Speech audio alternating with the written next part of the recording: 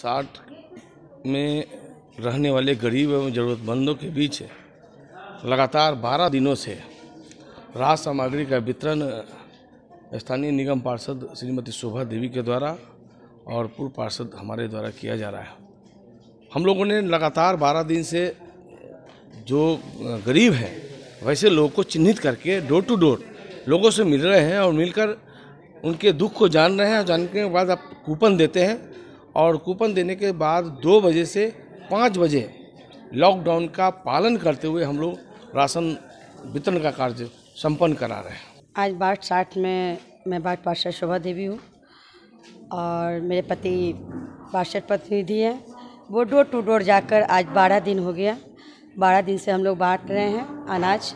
जो गरीब हैं और जो ज़रूरतमंद हैं उनको डोर टू डोर जाकर राहत सामग्री पार्षद प्रतिनिधि जाकर देते हैं और मैं सबको वितरण करती हूँ वो भी करते हैं। Gold jewellery diamond jewellery platinum jewellery silver और स्टोन्स की एक संपूर्ण range Jagmohan Lal Shiv Ratan Lal jewellers Patna city चौक पटना।